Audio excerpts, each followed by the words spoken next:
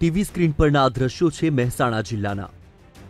મહેસાણા શહેરથી માત્ર થોડે દૂર મોટી દાવ ગામ આવેલું છે.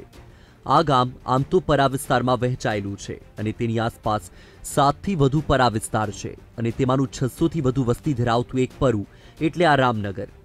અહીં લોકોના મોટાભાગના વ્યવહારો મોટી દાવ ગામ સાથે સંકળાયેલા છે અને મોટી દાવ ગામ તરફ જવા માટે ગ્રામજનોને ભારે જહેમત ઉઠાવવી પડે છે. અહીં વચ્ચે રૂપેણ નદીનો પટ છે અને અહીં બારે માસ નદીમાં પાણી રહેવાથી ગ્રામજનો જીવના જોખમે અહીંથી પસાર થઈ સામે કાંઠે જવા મજબૂર બન્યા છે. આમાં મોટી દેવું જવું હોય એટલે અમારે છે ને આ આ કેનાલનો આ પુલ નથી. એટલે અમારો મોટો મોટો પ્રશ્ન છે. પાણી આવતું હોય એટલે અમે ક્યાંથી જવું અને અમારા છોકરો અહીંથી મોટી દેવું ભણે છે એટલે બહુ તકલીફ પડે મોટી દેવું જવું પડે અને અહીંથી મહેસાણા જોઈએ છે. મહેસાણા વાળાની બહુ તકલીફ પડે સાહેબ. ચોમાસામાં તો જવાય નહીં. ક્યારે અમુક પાણી હોય માથોડ હોય સાહેબ. એટલે કઈ રીતે જવું? પછી ખેતી પેલી બાજુ છે. બરાબર, ઢોરોને ચાલ લેવા જવું હોય તો બહુ વખા પડે છે. આવવા જવાનું અવર જવા માટે. ઘણો તણાઈ જ હોય છે ઘણો કાઢીએ ના કાઢીએ ને એવું કરી જીવતો હોય મરીએ ગયો હોય ને આવું એ થઈ જાય સાહેબ. તો આ તરફ બાળકોને સ્કૂલે જવા માટે જીવના જોખમે નદીના પાણીમાં ઉતરવું પડે છે. ક્યારેક તો નદીમાં વધારે પાણી છોડવામાં આવે તો મોટી દુર્ઘટના પણ થઈ શકે છે. ગામની મહિલાઓ અને અન્ય લોકોને પણ સામે કાંઠે જવા માટે ધસમસતા પાણીના પ્રવાહમાંથી જીવના જોખમે પસાર થવું પડે છે. જિલ્લાની મોટાભાગની નદીઓમાં ચોમાસામાં જ પાણી આવે છે.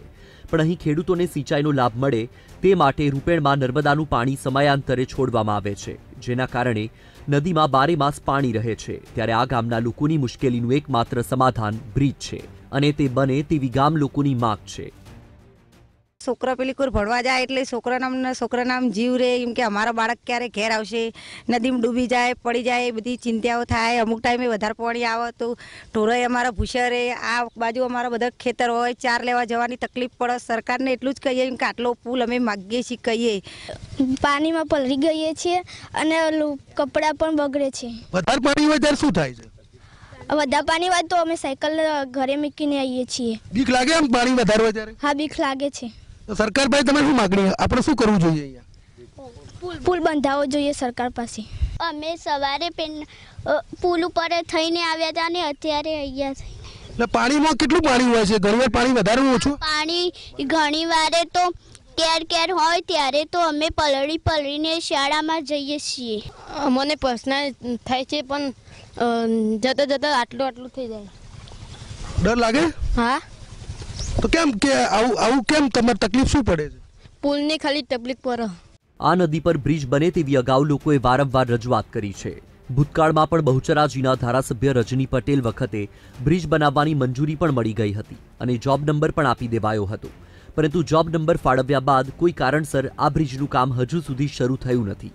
તો તાજેતરમાં વિધાનસભાની ચૂંટણીમાં પ્રચાર માટે ગયેલા ભાજપના ધારાસભ્ય સુખાજી ઠાકોરે લોકોને ખાતરી આપી હતી કે કોઈ પણ ભોગે અહીં બ્રિજ બનાવીશું. પરંતુ હજુ સુધી કોઈ પ્લાનિંગ થયું નથી.